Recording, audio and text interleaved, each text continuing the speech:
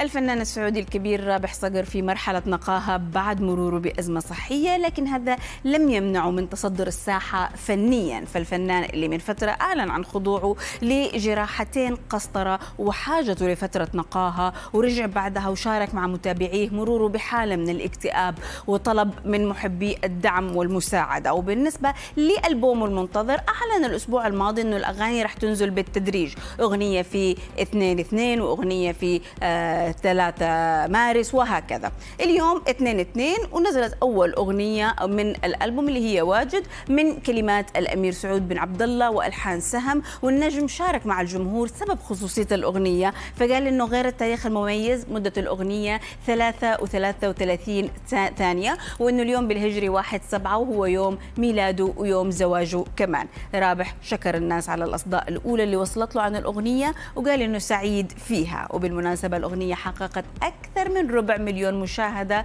خلال أول 12 ساعة من طرحها. إحنا حنترككم مع مقطع من جديد رابح صقر وأعود وألقاكم غدا إن شاء الله في الخميس الونيس.